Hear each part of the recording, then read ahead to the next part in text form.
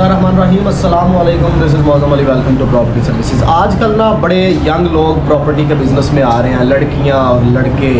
और उन्होंने ग्लैमर देखा हुआ प्रॉपर्टी के बिज़नेस का। उन्हें लगता है कि हम यहाँ पे आगे काम करेंगे। और रातों रात जो है, वो यहाँ पे हमारी किस्मत के सितारे चमकने लगेंगे। हमारे नीचे क्रूज़ आ जाएँगी और पता नहीं क्या कुछ होने लगेगा। अवैस भाई मेरे साथ मौजूद हैं और आज हम बात करेंगे ये जो नए प्रॉपर्टी में लोग आ रहे हैं, उन्हें किन किन चीज़ों का ख्याल रखना है और किन किन इम्तहान से उन्हें गुजरना होगा। तो आइए अवैस भाई से शुरू करते हैं। अवैस भाई, बताएँ आप।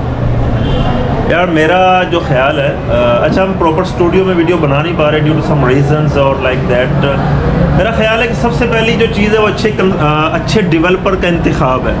अ, जो जिसकी गुडविल अच्छी हो जिसका माजी अच्छा हो जो अच्छे प्रोजेक्ट्स डिलीवर करने वाले लॉन्च करता हो। वरना अगर दो नंबर बंदे के साथ आप ऐड होंगे तो वो एक स्पेसिफिक लेवल तक जो है वो आपको सपोर्ट तो करेगा देन जो है वो मार्केट से आउट हो जाएगा बैरून मुल्क चला जाएगा फ्रॉड करके। हमने कई ऐसी तरह की स्कैम्स और चीज़ें देखिए।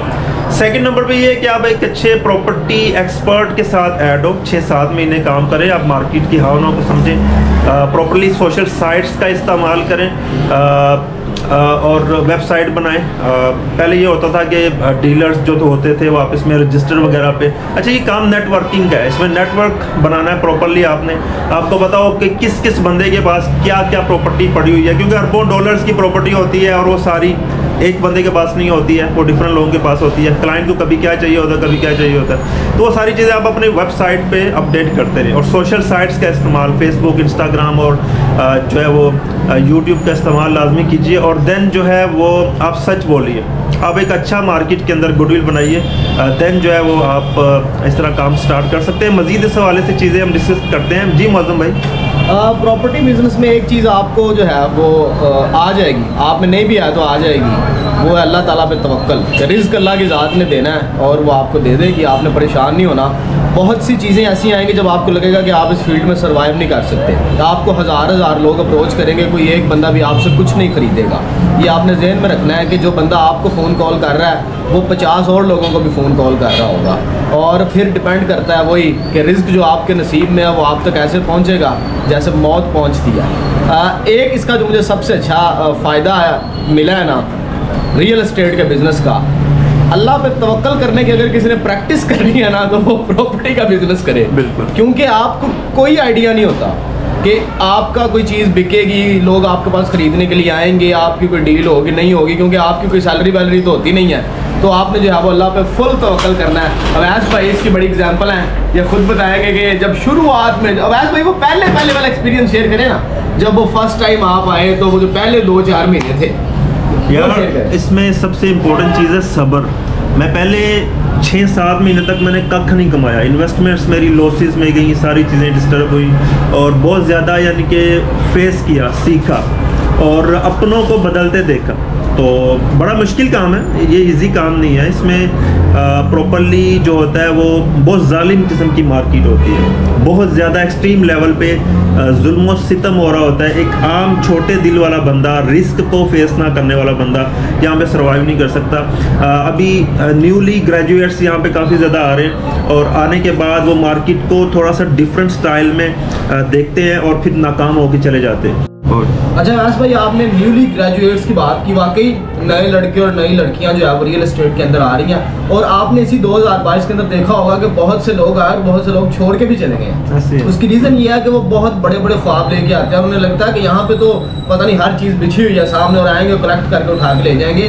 थोड़ा सा मुश्किल जो है वो आती हैं। आप अगर ये बिज़नेस करना चाहते हैं अच्छा इसमें दो चीज़ें हो रहा है। एक है कि आपके पास बिल्कुल पैसे नहीं है फिर भी यहाँ पे जगह है। अगर आप बहुत अच्छे मार्केटर हैं, जगह फिर भी इस फ़ील्ड के अंदर है, लेकिन मेहनत डबल है। अगर आपके पास पैसे मौजूद हैं, फिर तो बेहतरीन है। फिर आपने बस ये सीखना है कि इन पैसों को रिवॉल्व कैसे करना है और कहाँ पे आपने पैसा इन्वेस्ट करना है और कहाँ से पैसा निकाल लेना है। ये चीज़ें आपको आइडिया होना चाहिए। आपके साथ जो जी जी। अच्छा इसमें एक और इम्पोर्टेंट चीज़ वो ये है कि आपने मेहनत करनी है। मेहनत अल्लाह ताला कभी भी रायगा नहीं जाने देता। आज आपने किसी और क्लाइंट के साथ मेहनत की आ, वो मेहनत क्लाइंट स्किप हो गया लेकिन अल्लाह ताला उस मेहनत का फल जो है किसी और क्लाइंट की सूरत में आपको लाजमी देता है। मेहनत को इस वजह से नहीं छोड़ना कि यार ये क्लाइंट्स जो हैं वो स्किप हो जाते हैं या इस तरह मसला कर देते हैं। बहुत सारे लोग इस वजह से दिल बर्दाश्त हो जाते हैं। जी मौजूद जी तो जनाब अली आपने सिर्फ़ ये करना है कि आपने अपनी एक्सपेक्टेशंस को थोड़ा कम करना है और आपने अपनी हार्ड वर्किंग को ज़्यादा करना है और न्यू आइडियाज़ की हमेशा से डिमांड होती है।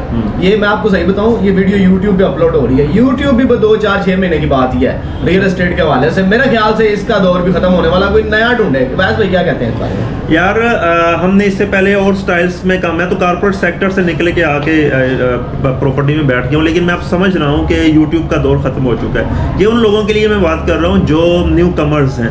अब डेवलपमेंट का दौर है। आप खुद से डेवलपर बनना इन्वेस्टर्स को प्रॉपरली कलेक्ट करना देन आप फिर मजीद आइडियाज़ आएँगे, हम आपसे शेयर करेंगे, कुछ चीज़ें कॉन्फिडेंशियल भी होती हैं। लेकिन ये है कि आपने मेहनत राइट डायरेक्शन में करनी है, सिर्फ़ मेहनत नहीं करनी है।